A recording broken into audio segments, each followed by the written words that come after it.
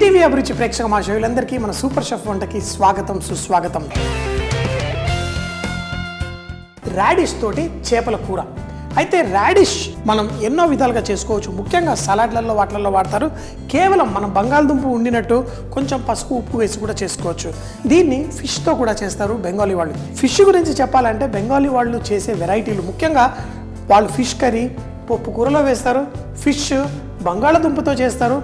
Fish ఇలా రకరకాల బిర్యానీలు ఏంటి?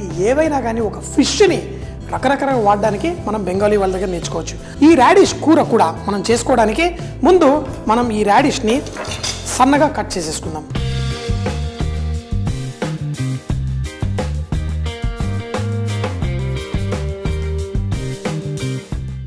ఈ రాడిష్ని సగంగా ఇలా కట్ చేసేసి మన స్వీట్ కూరగాయల మధ్యలో కొంచెం ఘాటు కూరగాయ అంటే మన రాడిష్. ఈ కూరలో వేసుకోవడం కోసం సన్నగా కట్ చేసేసుకుందాం. సాంబార్లో వేసుకున్నప్పుడు కొంచెం లావుగా కట్ చేసినా బాగుంటుంది కానీ ఇందులో మాత్రం ఇలా సన్నగా కట్ చేసే చేసుకుందాం. ఆ కూర తయారు చేసినప్పుడు అందులో ఫిష్ తర్వాత మళ్ళీ వేసి కుక్ చేయకుండా ఫిష్ని ముందే కుక్ చేసుకుంటారు. కాబట్టి ఫిష్ని మనం ముందు కుక్ చేయడం కోసం నూనె వేద్దాం. ఈ ఫిష్ ముక్కలు కొంచెం ఆరపెట్టాలి. ఆరపెట్టాలి అంటే ఇప్పుడు చూడండి.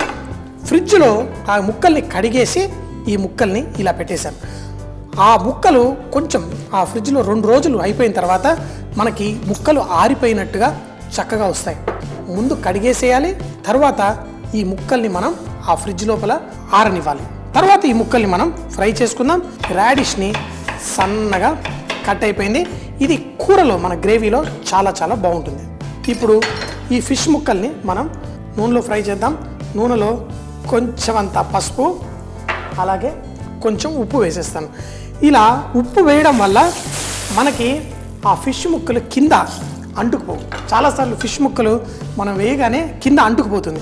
అలా కాకుండా ఆ ఉప్పు వేసేసి మనం ఫిష్ ముక్కల్ని ఈ విధంగా వేసేసుకోండి చూడండి సన్నగా ఉన్న ముక్కలు ఫిష్ ముక్కలు ఎంత చక్కగా ఎంజాయ్ చేస్తామో ఈ రాడిష్ ముక్కల్ని కూడా అదే విధంగా ఎంజాయ్ చేస్తాం. ఈ ముక్కల్ని ఈ విధంగా మనం నూనెలో రెండు పక్కల చక్కగా సాటేజ్ చేసుకున్నాం. చూడండి పసుపు ఏమి కలపలేదు అనుకోకండి ఆ ఉప్పులో పడగానే చక్కగా ఉంటుంది. ఏం చేశాను? ఈ ఫిష్ ముక్కలు కింద అంటుకోకుండా కింద ఉప్పు వేశాను. అదే కనుక ఆ ఉప్పు వేయలేదనుకోండి ఈ ఫిష్ ముక్కలు కింద అంటుకుపోతాయి. ఈ టెక్నిక్ మీరు వాడచ్చు. మనం మామూలుగా ఫిష్ ఫ్రై చేసేటప్పుడు కూడా కేవలం పీసులకి మసాలా లేకుండా మనం వేసినప్పుడు ఈ విధంగా కొంచెం ఉప్పు వేసి చూడండి ఫిష్ పోయి కింద అంటుకోదు. చక్కగా ముక్కలు మనకు కావాల్సిన విధంగా వచ్చేస్తాయి. ఇలా ఒక నాలుగు నిమిషాల పాటు ఫిష్ ముక్కలు కొంచెం గట్టిగా కరకరలాడేలా మనం ఫ్రై చేసుకుందాం. అంటే పూర్తిగా కరకర కాకుండా కొంచెం ఆ ఫిష్కి ఆ కరకరలాడే సైడ్గా కొంచెం ఉంటుంది కదా ఆ విధంగా మనం ఫ్రై చేసి రోవు చేప తీసుకోండి బొచ్చ తీసుకోండి వీటిలలో కూడా కొంచెం కొవ్వు శాతం ఉంటుంది కదా అది చక్కగా దీంట్లో కరిగి మనకి మంచి ఫ్లేవర్ అందచేస్తుంది. ఈ ముక్కల్ని ఈ విధంగా ఒక నాలుగు నిమిషాలు ఫ్రై చేసుకోండి. పర్ఫెక్ట్గా ఫ్రై అయిపోయాయి ఈ ముక్కల్ని తీసేసి మనం ఒక ప్లేట్లో పెట్టేసుకుందాం. ఇంకా మనం కుక్ చేయాల్సిన అవసరం లేదు. కేవలం గ్రేవీలో ఒక రెండు నిమిషాలు వేస్తే చాలు సరిపోతుంది. ముక్కలు కరకరలాడుతూ చక్కగా వచ్చేసాయి. చూడండి ఉప్పు కొంచెం వేయడం వల్ల కింద అంటుకుపోలేదు. ఈ చిట్టి చిట్టి ముక్కలైనా పర్ఫెక్ట్గా వచ్చేసాయి. ఇంకొకటి మీరు గమనిస్తే ఫిష్ మంచి పీసెస్ నేను ఫ్రైకి వాడేసుకున్నాను. ఈ తోక ముక్కలు ఇలా కొన్ని ముక్కలు మాత్రమే దీంట్లో వేసాను ఇది పక్కన పెట్టేద్దాం. ఈ నూనె చక్కగా మరి కొంచెం వేడెక్కిన తర్వాత మామూలుగా మనం చేసే ఆ పులుసు రూపంలోనే చేసుకోండి. కొంచెం ఆవాలు ఇందులో జీలకర్ర కొంచెం మెంతులు మరీ ఎక్కువ వేయకండి. మెంతులు అలవాటు లేకపోతే తర్వాత మన ఉల్లిపాయ సన్నగా కట్ చేసేసుకొని ఇందులో వేసుకోండి. మాడక ముందే ఉల్లిపాయలు అందులో వేసేది కేవలం ఒక్క ఉల్లిపాయ వేస్తున్నాం. మన ఉల్లిపాయలు కొంచెం బ్రౌన్ రంగు వచ్చేంత వరకు మనం కుక్ చేసుకుంటే పర్ఫెక్ట్గా ఉంటుంది. అయితే సాధారణంగా మెంతులు డ్రైగా వేసే బదులు కొంచెం నీళ్ళలో నానబెట్టిన మెంతులు నూనెలో వేసి ఫ్రై చేసుకుంటే కూడా చాలా బాగుంటుంది. అది మరొక్కసారి నేను చూపిస్తాను. ముందు దీంట్లో కొంచెం ఉప్పు కూడా ఆల్రెడీ మనం ఫిష్ ఫ్రై చేసేటప్పుడు వేసాం కదా. ఇప్పుడు ఉప్పు వేయక్కర్లేదు దీంట్లో ఈ ఉల్లిపాయల్ని కొంచెం బ్రౌన్ కలర్ వచ్చేంత వరకు. బ్రౌన్ కలర్ రావడం వల్ల తర్వాత మన గ్రేవీలో అది కలిసిపోతుంది చక్కటి మంచి ఆ సిల్కీ గ్రేవీ తయారవుతుంది. మన ఉల్లిపాయలు లైట్గా ఆ బంగారు రంగు వచ్చిన తర్వాత మిఠాయి వేసుకుందాం. కరివేపాకు మరి కొంచెం పసుపు వేసేసుకుంటాను. ఇందులో మన ధనియాల పొడి జీలకర్ర పొడి కారపొడి తర్వాత వేసుకుందాం. ముందైతే మనం ఇందులో మన రాడిష్ చిన్న చిన్నగా కట్ చేసుకున్నాం కదా అది అలాగే దీంట్లో ఒక్క టమాటా. అయితే కొంతమందికి పులుసులో కేవలం చింతపండు వేసుకుంటారు టమాటాలు వేరు కొంతమంది రెండు కాంబినేషన్లో వేసుకుంటారు. ఒక్కొక్క ప్రాంతం వాళ్ళు ఒక్కొక్క రకంగా చేసుకుంటారు. ఇప్పుడు మన రాడిష్ ముక్కలు అలాగే మన టమాటా ముక్కలు కూడా దీంట్లో కొంచెం సేపు కుక్ చేసుకుందాం. మన టమాటా కొంచెం సాఫ్ట్గా నలిగిపోవాలి. ఆ రాడిష్ ముక్కలు కొంచెం కుక్ అయిన తర్వాత ఇందులో గ్రేవీ వేసేసుకుందాం.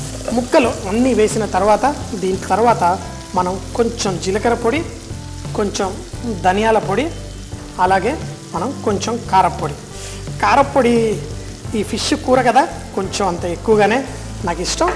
వేసి ఈ విధంగా లైట్గా కలిపేసి మనం మూత పెట్టేద్దాం. మన టమాటా కూడా చక్కగా కుక్ అవుతుంది. ఆ టమాటా మనం మంచిగా కుక్ అయిన తర్వాత కొంచెం చింతపండు పులుసు వేస్తే మనకి మంచి సాస్ వస్తుంది. కానీ టమాటా వేసాం చింతపండు కొంచెం తక్కువగా వేసుకోండి. మామూలుగా మనం తెలుగు వాళ్ళు చేసుకునేట్టు మరి పులుపు ఎక్కువ వద్దు. ఆ బెంగాలీ వాళ్ళు చింతపండు పులుసు కాదు కేవలం టమాటాతోటే ఆ పులుపుతోటే చక్కగా ఎంజాయ్ చేస్తారు. కాకపోతే దేశీ టమాటా దొరకలేదంటే కొంచెం అంత పులుసు వేసుకుంటే చాలా చాలా బాగుంటుంది. ఇలా కేవలం మన దేశంలో ఉన్న రాష్ట్రాలే కాదు దేశ విదేశాల్లో నుంచి ఎన్నో అద్భుతమైన రుచికరమైన వంటలు మన ఈటీవీ అభిరుచిలో ప్రతిరోజు చూపిస్తూ ఉంటారు. మీరు చూడండి మన టమాటా సాఫ్ట్గా అయిపోయింది అలాగే మన రాడిష్ కూడా కుక్ అయింది. ఇందులో మన చింతపండు రసం మరీ ఎక్కువగా అక్కర్లేదు అలాగే దీంట్లో కొన్ని నీళ్ళు కూడా పోసేసి ఆ ఫిష్ వేసినప్పుడు ఆ జ్యూస్ అంతా పీల్చుకోవాలి కదా అందుకే మనకు కావాల్సిన కూర కన్సిస్టెన్సీ తీసుకొద్దాం. ఉప్పు ఇందులో పడాలి ఉప్పు పులుపు అన్నీ పర్ఫెక్ట్. ఇప్పుడు నా రాడిష్ కర్రీ రెడీ అయిపోయింది. ఇది తిన్నా చాలా బాగుంటుంది. మనకు ఫిష్ ఆ సువాసన అంతా ఇందులోకి వచ్చేసింది. ముందు ఫ్రై చేసాం కదా. ఇప్పుడు ఇందులో మనం ఉప్పు అన్నీ అడ్జస్ట్ చేసి మరొక్క నిమిషం కుక్ అయిన తర్వాత ముందు ఈ తలకాయ ముక్క వేసేద్దాం. ఎందుకంటే ఈ తలకాయ ముక్క ఇంకా కొంచెం లైట్గా కుక్ అవుతే చాలా బాగుంటుంది. మిగతా ఫ్రై అయిన ముక్కలు తర్వాత వేసుకుందాం. ముందు దీన్ని రుచి చూద్దాం. ఉప్పు సరిపోయింది. పులుపు కూడా బ్రహ్మాండంగా ఉంది. దీన్ని మరొక్క రెండు మూడు నిమిషాలు బాయిల్ అయిన తర్వాత మంచిగా మసులుతున్నప్పుడు మిగతా ఫిష్ ముక్కలు కూడా వేసి చక్కగా దీన్ని ఫుల్గా ఎంజాయ్ చేద్దాం. ఆ ఫిష్ ముక్కలు ఈ రాడిష్ ముక్కల ఫ్లేవర్ తోటే చాలా బాగుంటుంది. గ్రేవీ మసులుతున్నప్పుడు చూడండి మనకి లోపల రాడిష్ ముక్కలు మనం తినేటప్పుడు అప్పుడప్పుడు ఆ ముక్కలు కూడా మంచి టేస్ట్ తగులుతూ ఉండాలి. మనం సాధారణంగా ఫిష్ తినేటప్పుడు ఆ గ్రేవీ వేసుకొని తింటాం చాలా బాగుంటుంది. కానీ అప్పుడప్పుడు ఈ విధంగా కూడా చేసుకోండి. మంచిగా ఫ్రై అయిన ఈ ఫిష్ ముక్కల్ని ఆరిన తర్వాత మనం ఫ్రై చేసుకున్నాం. అందుకే ముక్కలు కరకరలాడుతూ చక్కగా ఉన్నాయి. ఇందులో ఇలా వేసేసి కుక్ చేసుకున్నాం. ఇప్పుడు ఆ ముక్కలు పర్ఫెక్ట్గా ఆ గ్రేవీలో ఆ ఫ్లేవర్స్ అన్నీ చక్కగా పీల్చుకొని బ్రహ్మాండంగా ఉంటుంది. దాని తర్వాత వడ్డించేసుకుందాం అన్నంతో పాటు కూర రెడీ అయిపోయింది. అన్నం కూడా రెడీ. చూడండి ఫిష్ ముక్కలు మనం ఎంత ఇంట్రెస్టింగ్గా వేసుకొని తినొచ్చో అలాగే మన రాడిష్ ఈ ముక్కలు ఈ కూర ఏదైతే ఉందో చక్కగా వేసేసుకోండి. చూడండి మన ఆ రాడిష్ ముక్కలు కూడా అన్నంతో తింటూ ఉంటే చాలా బాగుంటుంది. బంగాళదుంపలు వేసుకుంటూ ఉంటారు. అది ఇదివరకు కూడా మన షోలో చూపించాను.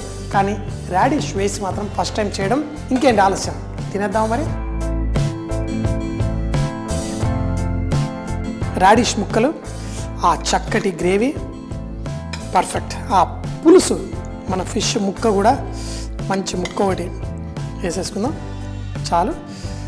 నేనేమంటా అంటే ఇలా కూరగాయలు వేసి కూడా ఎందుకు మనం పులుసు చేపలో బెండకాయలు వేసుకుంటాం కదా? ఏంటి? అలా రాడిష్ కూడా ఈ ఫిష్ తోటి కొంచెం టమాటా మన చింతపండు పులుసు ఆ రెండు కలిపిన గ్రేవీ తప్పకుండా ట్రై చేయండి. ఇప్పుడు ప్రతి బైట్లో మనకి ఆ చేప ముక్క ఫీలింగ్ ఎందుకు? ఈ రాడిష్ ముక్కలతో పాటు. ఆహా. మీ అందరికీ తెలుసు. పులుపు రాడిష్ చాలా మంచి కాంబినేషన్ సాంబార్లలో వాటిలలో వేస్తే లొట్టలు వేసుకొని తినాల్సిందే. ఆ సువాసనకే పడి చచ్చిపోతాం. అదే అద్భుతమైన సువాసన ఫిష్ రాడిష్ కూడా మంచి కాంబినేషన్ చేసుకోండి తినండి. ఎప్పుడు చెప్తూ ఉంటాను కదా బీరిచిన్ కుకింగ్. వంటల్లో శ్రీమంతులు అంటే ఇది. ప్రతిరోజు ఆస్వాదించే అద్భుతమైన రుచికరమైన వంటలు తినాలి. చక్కగా ఎంజాయ్ చేయాలి.